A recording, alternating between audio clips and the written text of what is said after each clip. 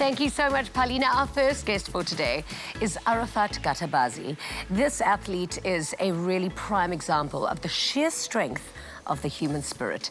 He joins us now to chat about the trials and tribulations of his journey. Please do connect with us online if you have any questions for Arafat. Tweet us at Afternoon Chat using the official hashtag Afternoon Express or comment on our Facebook page. Arafat, welcome to the show. Thank you for having what me. What an absolute pleasure to meet you because your story is just extraordinary.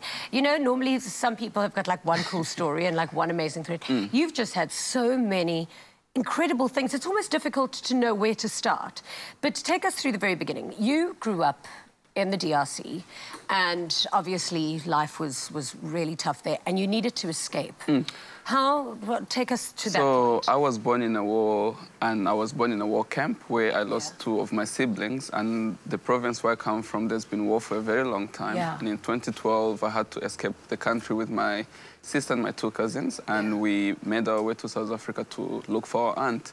And when we got in South Africa, we didn't have anywhere to live. Our aunt was living in a shelter, and we ended up in a street children's home. Wow. So it was you and your cousins basically in an orphanage, and what was life like there for you? Uh, life was very difficult, coming from uh, my mother's house and living in a place where kids have little to no aspiration to a better future in life. Yeah. The only thing they thought about was drugs and the life on the street. So it was uh, very difficult to be in a place where I ended up becoming like them, having negative thoughts and not having anything to look towards to when I wake up. Yeah. And what, why was South Africa your option, coming from the DRC? Uh, so when we came, choice? we came mainly to look for our aunt that stayed yeah. in South Africa. And that was the goal that we had to, yeah. uh, to reach here. Amazing. Then instead of like allowing those bad thoughts to take hold of you, instead of getting into drugs and crime and all those other things, you then took on a really different path. Mm. You taught yourself to swim. Uh, so at the homestead, the children's home that yeah. uh, I ended up, uh, we had these different programs because the only hope we find them, we found them through swimming program, yoga, and education. And wow. swimming was more interesting to me because it was going to be my very first time to be at the swimming pool. Yeah. So when they told me, hey, Arafat, would you like to join swimming? I went, and it was really amazing being in the water. And I found that when I'm in the water, I don't have to think about my problems. Yeah. So it became like therapy to me. And I took on further and further, and I got an opportunity to swim from Robben Island to Blouberg, and I took that on and trained for it. So now you do, you essentially now do open water swimming. Okay, Cape Town water is freezing, so you've got to be really mentally very strong in order to do it. Take me through the process and the dangers, I suppose, of open well, water swimming. Well, I'll take you through the first, the beginning. So I trained, I couldn't swim, so I learned yeah. how to swim uh, for 11 months, and then I took on my first attempt, yeah. where I got hypothermia, which is the first danger I oh got very word. cold and I had to be pulled out. The swim is 7.5 kilometers.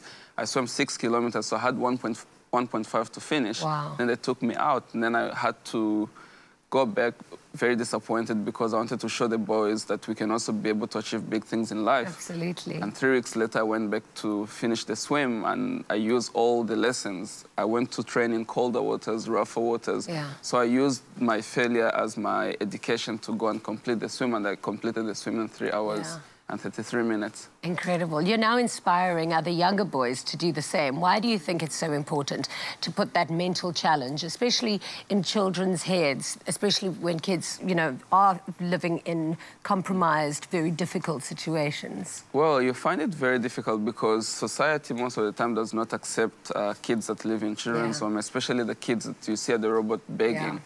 And when you have someone that believes in you, it changes the way you see life. So I had someone, uh, Marion Wagner, she believed that I could be able to achieve things. Yeah. And she gave me the opportunity to learn how to swim, and she encouraged me to keep doing it. So when I left the homestead, I thought that I wanted to give back um, to the homestead, but I don't have money to give them. Yeah. Then I, I thought I would take over the swimming program to share the same thing that Marion gave me to believe in the boys. Yeah. And then I started to make it broader to uh, include other children's home and other kids from different communities to teach yeah. them how to swim. And I found that when you have someone that believes in you, it makes it uh, better for you to think that you can be able to achieve yeah. something. I mean, from a war zone to a children's home, what is your life like now? Right now, it's difficult to describe my life right now because yeah. uh, I'm a web developer right now. Yeah. Uh, I teach swimming private, and I have a swimming program where I teach Amazing. underprivileged kids how to swim. And I'm still an open water swimmer. I still do Robben Island swim. I've swum around Cape Point, swim around Robben Island, and I do all those swims to do it for charities to raise funds for different Yeah. charities. Do you know, it is so important to share stories like yours because I can't imagine the tens of children and had the hundreds of children watching this that are really inspired by your story. Yeah. Thank you for, sh- for being brave enough to share it with us.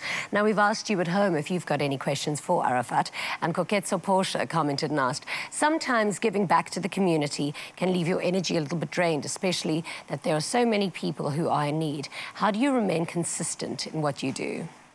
Well, when I look back at the children's home, we were about 40 kids, and when we started the swimming program, I was the only one who came out and did all these things. So Yeah. if I can be able to reach that one person, it makes a huge difference. Yeah. You cannot change the whole world. You can rather focus on that positive uh, thing that you're doing, and then, and the people. So like now, uh, they made a difference to me. So the person I'm making a difference to is going to go and give it on Yeah, and pass it pay on it and forward. pass it on. So that is how I keep consistency and keep doing it. Yeah. It's amazing. Then Tebogo Precious asked, at what age did you start swimming?